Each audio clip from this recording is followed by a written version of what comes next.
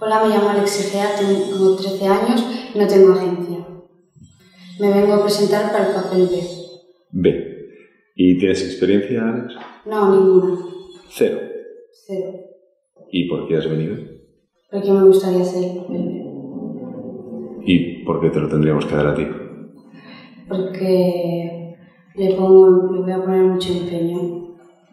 Con tu padre mola estudiar. Debe molar tener un padre así. ¿Y de qué trabaja tu padre? No tiene trabajo. A veces le cogen para ETTS para hacer mierdas. ¿Y tu madre qué, qué te tenías cuando tu madre murió?